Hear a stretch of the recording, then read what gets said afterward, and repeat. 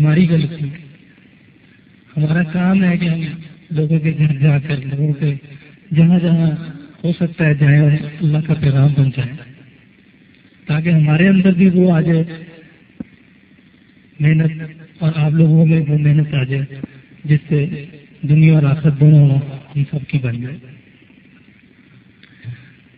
एक बात जो हम सब टीम वाले देख रहे हैं कि जो हमारे से अल्लाह की मदद आ रही है महल आप लोग भी मैच देखते होंगे। एक मैच कराची में हम जीते इंडिया के खिलाफ। उनतालीस रन से हमारे छह आउट हो गए।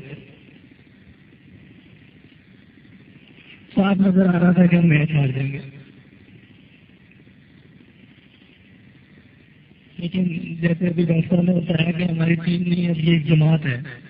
हम जब भी कहीं मैच खेलने जाते हैं, मुल्क से बाहर या पाकिस्तान में कहीं भी मैच हो रहे अल्लाह के उसमें पूरा कर रहे हैं अल्लाह हमें मिली नहीं होने देंगे चाहे हम हार भी जाए। तो ऐसे ही हुआ। और वो मैच हम तीन सौ इकतालीस रन से जीते ये बात ना मानने वाली है। एक टीम उनतालीस से छह आउट होकर तीन सौ इकतालीस रन से मैच जीत गई तो इससे साफ़ ज़ाहिर हो रहा है, हमें तो नज़र आ रहा है कि अल्लाह की नज़र हमारे साथ है। वो क्यों है? कि हम अल्लाह के हुक्मों को पूरा कर रहे हैं, अल्लाह की नाफरमानी नहीं कर रहे हैं। हमारी कोशिश है कि अल्लाह अल्लाह के हुक्मों पर चले हज़रत की ज़िंदगी उपचार करें। और एक मैच अभी श्रीलंका में आखिरी टेस्ट हम जीते जब हम जीत गए तो वक्त यकीन नहीं आ रहा था कि हम जीत गए लेकिन ये पता था कि हम नमाजें पढ़ रहे हैं इस तरह से अल्लाह हमारे साथ है हमारी मदद हो रही है। और जब हम वापस आए तो दो चार दिन बाद मैं रायबन गया। उधर हाजी अब्दुल वहाब साहब से मुलाकात हुई। तो उस दिन इतने खुश थे। इतनी क्रिकेट की बातें पहले उन्होंने कभी नहीं मेरे साथ की तो मैं खुद हैरान था क्या जी सब क्रिकेट की इतनी बातें कर रहे हैं। तो पहले वो पूछते हैं, उसने क्या किया? उसने मैच क्या हुआ? बात खत्म हो गई। लेकिन इस बार उन्होंने इतनी लंबी बात की। आपने टाइम पे बताया उन्होंने कि मैं इस्लामिया कॉलेज में होता था तो फजल महमूद वहाँ खेलते थे। ये खेलता था, वो खेलता था।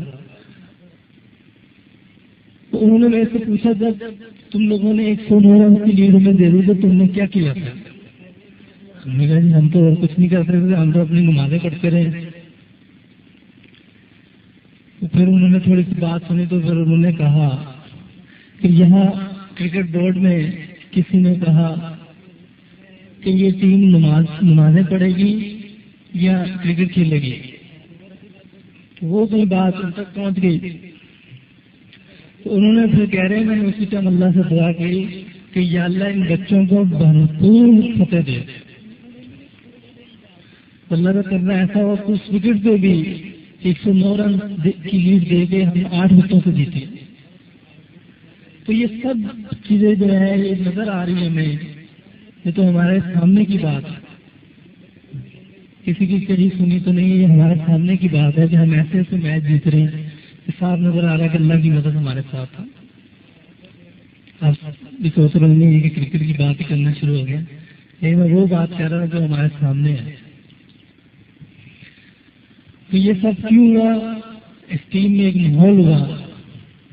टीम ने नमाजें पढ़नी शुरू की। जहाँ भी जाते हैं, हमारी कोशिश होती है, जिस मुल्क में भी जाए, अगर वहाँ मरकज है तो हम मरकज पे ज़रूर जाते हैं। शब जुम्मा पे जाते हैं। तलीम होती है तो मगरब की नमाज़ के बाद। तो ये सब इस, इन चीज़ों की बरकत से हुआ है कि इस टीम में दीनी माहौल हो गया। है हर लड़का अल्लाह की बात करता है, एक दूसरे से मोहब्बत है। पहले ये होता था कि ये ना करे, वो ना करे, अब ये ये पीछे से लड़के कह रहे अल्लाह करे यार, यही मैच जिता दो। अल्लाह करे ये मैच जिता दो। पहले ये बात नहीं तो आप सब लोगों से ये गुजारिश है कि आप सब लोग भी अल्लाह के रस्ते में निकले। तीन दिन, दस दिन, चालीस दिन, जितना आपसे हो सकता है, वो अल्लाह के रस्ते में निकले। अभी हम लोग पिशावर में सैरोजा लगा के आए मैं था इंतज़ाम भाई थे, डॉक्टर साहब थे और काफ़ी लोग थे वहाँ। तो अल्लाह ने इतना काम लिया, वहाँ से काफ़ी जमातें निकली। तो आप सब लोग भी अल्लाह के रास्ते में निकले, लोगों को अल्लाह की तरफ़ बुलाएँ। आप सब लोग ये इरादा करते हैं फिर अपने दरस कुरान डॉट कॉम आपके लिए पेश करता है तस्वीर कुरान मौलाना असलम शेखुपुरी साहब की आवाज़ में। और अल्लाह कहते हैं याद करने के लिए आसान पढ़ने के लिए आसान और समझने के लिए आसान। इसके अलावा इस मकबूल वेबसाइट पर आप सुनिए मारूफ आलम दीन के इस्लाही बयान तो इस्लाम